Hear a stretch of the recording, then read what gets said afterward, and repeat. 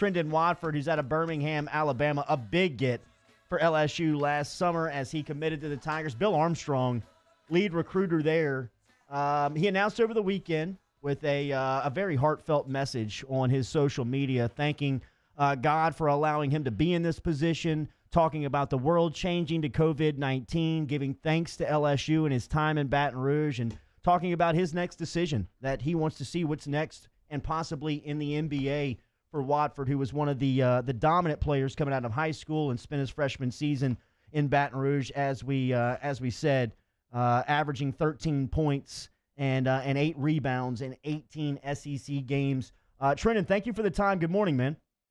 No doubt. Thank y'all. Thank y'all for having me. Absolutely, man. Um, crazy season the way it ended. Um, to just take me through the experience of your one year of college basketball. Um, you know, definitely, definitely looking looking back, I definitely did not think it was gonna end like this. Mm-hmm. You know, but um, you know, it was it was a good, it was a good season. You know, all my teammates, you know, they're my guys, and um, you know, we just had we had I had a fun year, had a fun year with those guys. A lot of your teammates have have gone through this process, uh, whether it's Emmett Williams, Darius Days, uh, even Skylar Mays. Uh, have gone out, worked out for the NBA, and then decided to come back to school. Is that an option for you, or are you declaring for the NBA draft wholeheartedly? Oh yes, I'm declaring, but I haven't, you know, I haven't, I haven't signed with the agent yet, so you know that option is still there. But um, you know, I'm just, I'm basically, you know, just testing the waters and just, you know, just trying to go through the process. What type of information are you getting uh, about this this process? I mean, have you gotten any feedback on on the draft? Whether there'll be workouts, where the workouts will be held, how will you work out for these teams? Have you gotten any of that type of information going into the process? Mm-hmm. Um, I'm hearing, you know, if they if they do move the draft back to August, then there there will most likely be a um, you know a process with workouts, team meetings, and such. So, you know, if they do do that, then it probably will be a process, and if they don't, then it you know it, probably won't. If they keep it in June, then it probably won't. You know, so, that's just what I'm hearing. So it's so odd, Trendon, because y'all were thrown into limbo there at the SEC tournament. All of a sudden, season's over. Uh, then everything starts to shut down, and then uh, and, and and then here you are. You're kind of in limbo now. So as as you get ready for this evaluation process that isn't even set in stone yet, what are you doing to get yourself ready to try to make that jump to the NBA? Well, uh, right now, you know, it's not much I can do. I can't really get to the gym. I'm, I'm I'm still in Baton Rouge right now, so I can't really, you know, I can't really get in the gym. So, you know, main thing I'm just trying to do is just stay in shape. Um, guys like me, me, Javonte, Scott are still here, so you know, we just try to get we just try to stay in shape by running in the morning and you know, just trying to do just trying to do in home workouts that we can do just to keep our body to keep our body looking good. And, and, so when you think about making that jump to the NBA, and then you think about your game and how this last season went, uh, wh- where do you feel you'll be able to make that jump quickest? And then what are the areas that you still think that you need to work on more? Uh, you know, obviously, you know, making the jump to the NBA as a, as a freshman, you know, it's not it's not it's not gonna be easy, you know, and I know that. So you know, this is gonna take a lot of hard work, you know, on my game, on my body, you know, on my eating habits. So you know, I'm just you know I'm just looking forward to that. Your brother was a superstar in Indiana. He's gone through this process. Um, how, do you how do you reference him? How does he help you through throughout this uh, this next couple of months?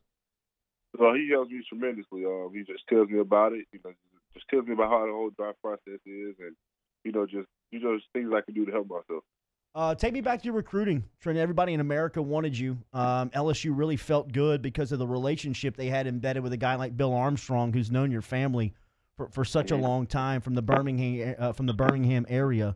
Um, LSU may not have been the most popular school at the time when you chose them. I know that meant a lot to the staff, but just take me through the process of, of how you landed in Baton Rouge. Know, I took a few visits down here, and you know, I just had a strong relationship with the coaches, and I would say that you know that was the biggest thing. I just felt like, you know, down here in LSU, that was just family, and um, just knowing guys like Devontae Emmett, um, Darius. You know, just before I just before I got on campus, you know, they basically they was just here. You know, I had already knew them in high school, so you know, it was an easy decision for me, and you know, definitely one of the best decisions I've ever made. So. Did, did you get out of this one year uh, of college basketball? Did you did you get in return and what you were hoping to get out of it, the improvement in your game? Oh yes, I would say I did. You know, definitely. You know, it was up and downs as a freshman. You know, pretty much as any freshman would have. So, you know, it was definitely, you know, it was definitely up and downs, and I, you know, I just, it was just a great year, and um, you know, unfortunately, it just had to end like this. Yeah, it sucks, man, because I think I think y'all were set up to do some special things. Talking to Trent Watford here on Off the Bench, 24 500 with the 94 7 ESPN. Uh, Trent, I'm going to ask you a bit of a tough question here. But um, earlier in the show, we highlighted a lot of guys from LSU that have made it to the NBA, uh, being undrafted, maybe maybe taking more circuitous paths to the NBA. Um, if you go through this process, and the idea is that you won't be drafted. I mean, you get a shot, but that you won't be drafted. What do what do you think you would do? Like, what decision would you make?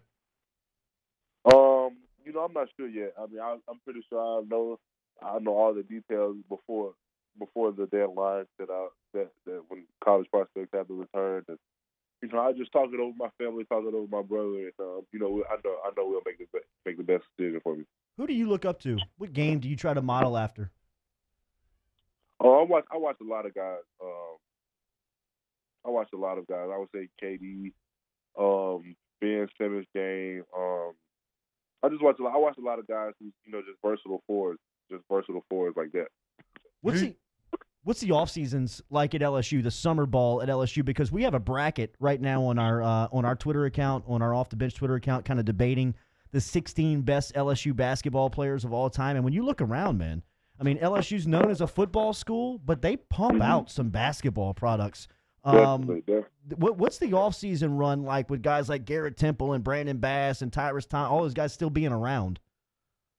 Um, you know, just last just last summer, just itself, you know, there was a lot of we had we had a few you know had a few pickup games with those guys, and you know, just like you said, it's definitely you know talented guys that come through LSU, and you know that's 16. That's that's that's, that's I'm pretty sure that's a you know a solid 16, a solid 16 on that list right there. So what's next for you, man? Um, are, are, are you still in school? Oh yes, I am. I'm still in school and I'm still in Baton Rouge right now. So you'll stay in school and, and you'll continue, I guess, to just try and find Monitor. creative ways to, Yeah. to stay in shape. But no basketball, no hoop. Can't put any any shots up. Um, you know, I've, I've unfortunately I've been in a few gyms and I got kicked out already. So Wow. Uh, Yeah, bro. Not not even Khris Middleton. I was reading this today. Khris Middleton of the Bucks just signed a huge contract. He doesn't even have a hoop at his house, and so Yeah. and he was talking about it. He just he can't shoot. He just can't yeah, shoot right can't- now. We, we can't really do anything. Um, so I'm, you know, just trying to stay in shape, running every day. Trenton, it was uh, it was cool to watch you play your, awesome. your freshman season, man. Uh, I know that uh, with your brother and your family and the coaching staff from LSU around you, that you will make the best decision for your future. Uh, if it's not coming back to LSU, it was awesome watching you play, and best of luck. If it's coming back to LSU, best of luck next season, man. Thank you. Yes, sir. I appreciate it. Thank y'all for having me. Thanks got so it. much, Trenton.